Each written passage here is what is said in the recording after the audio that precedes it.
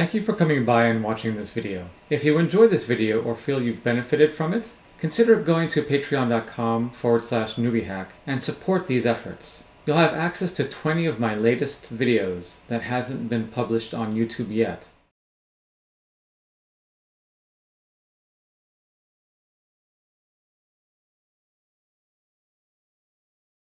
So let's get into this code and clean it up a little bit. The first thing I'd like to do is create definitions for these bits. This will also help us understand how the circuit is connected to the with the microcontroller and the LCD. So which pins and ports go to which data pins and the enable and read write and register select. So let's set up the defines up here. I want to create something very understandable in, a, in the way that we have the circuit wired. And that would be LCD D0 through D7 would be my names for the define. So let's call this one LCD D0 pin, which will be 12. And we can define the LCD D0 port, which will be GPIO B. We'll do this for each connection, so we can just do a copy and paste. So the pin, next pin is number 13, and it's also B. That's going to be D1.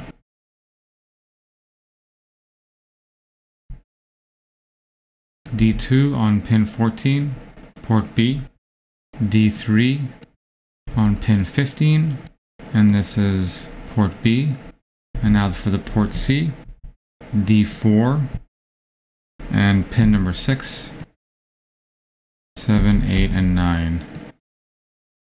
For D5, D6, and D7.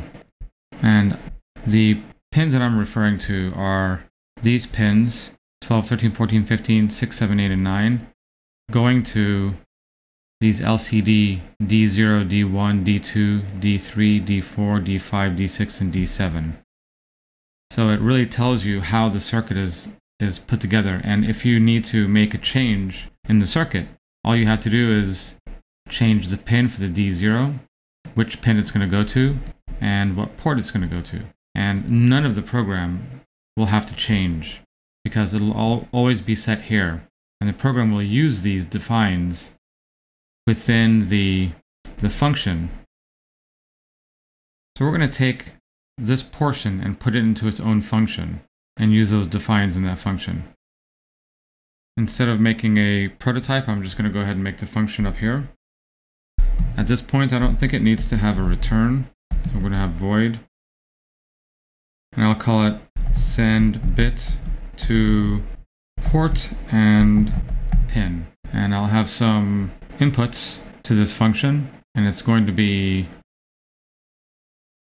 if we want to pass in the ports, we can get an idea of what the data type is by just hovering over one of the ports. And you can see it's GPIO type def, and you'll see it's a pointer. I'm just going to do a copy and paste of this. And then the pointer will, I'm just going to call it port. This will be the actual variable name. Okay, so the next thing we're going to be bringing in is the actual pin number. This number is only going to be a pretty small number. I'm just going to use an int for this. And then we actually have to send the bit, whether it's true or false. So we'll just call this, this will be a, actually I don't think I can use bool in this language. Use an 8-bit integer unsigned, and it will be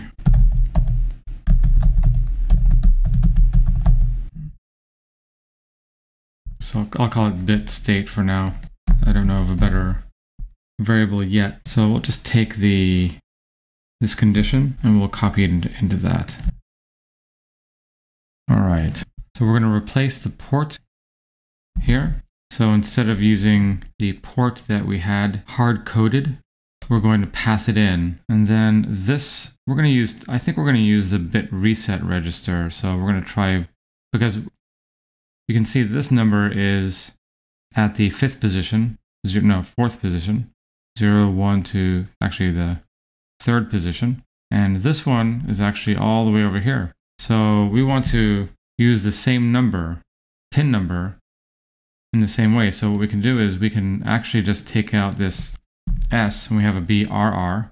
And you can see it's at the same position because this is the bit reset register and this is the bit set and reset register.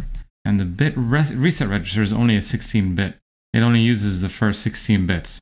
And the bit set reset uses all 32 bits, but the bits 16 through 32 are the reset bits. Okay, so now we have to change this to the reset register. And we're going to actually put the pin number here. And we're going to use the, the shift, bitwise shift operation and remove this number. So by putting the pin number, let's say 12, it's going to it's going to put this pin number into a very long into the 32-bit number at the position. So if the pin number is, let's say 9, it is going to come over here and go 0. It's going to left shift it. 0, 1, 2, 3, 4, 5, 6, 7, 8, and a 9. So it'll actually put a 1 right here where we want it, which we did for the setting and resetting when we were lighting up the LEDs in, initially. And for the bit reset, we're going to do the same thing. We don't actually have to make any changes to this portion of it because we want to reset at the same pin number since we're using the bit reset register and not the bit set reset register. Now the only thing we have to change now is the condition and this is going to be the bit state. So we have created a much more tidy code for this bit of code here. So let's go ahead and invoke that. I'm just going to take my prototype function and I'm going to copy and paste it here. And for this one, we're going to use port B, GPIOB, and we're going to use pin number is going to be 12. And the bit state will be this. Let's see, why doesn't this, work? oh, I have the void here. Okay. So this does the same thing as all of this. And we have made it so, actually, I don't want 12 to be there. I want to be using, I want to use the, the defines. So the define would be, this would be for the port and the pin. Okay, that's what I really want. See, D0 pin will be 12. You can see that it says here.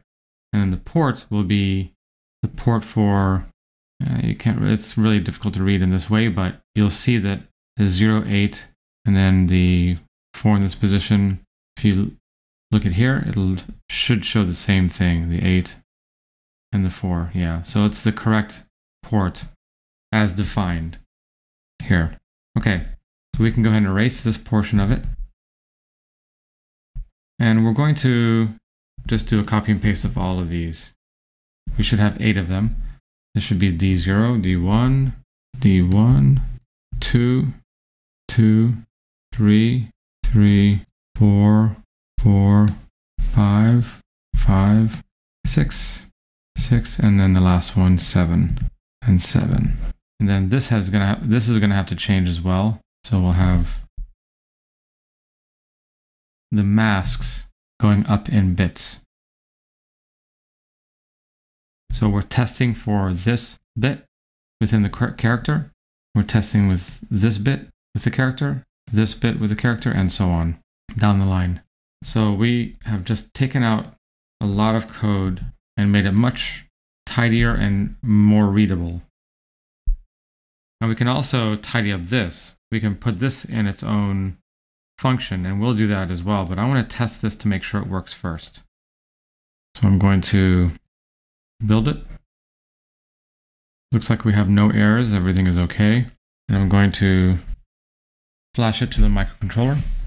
And as you can see, we have the same result.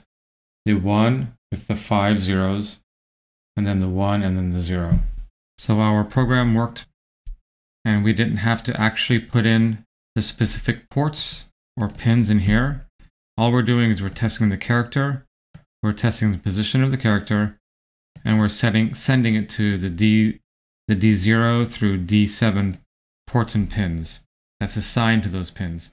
And just by looking at this, we can see how to wire the LCD using these defines. This is where you have to wire the pin 12 to the D0, pin 13 of port B to the D1, and so on. And we're not doing, we're not specifying any of that here in the code. In the next video, we'll tackle putting this into a single function so we can put out different characters. And we'll also tidy up this code because you, we want this to be able to follow the same convention using these defines as well.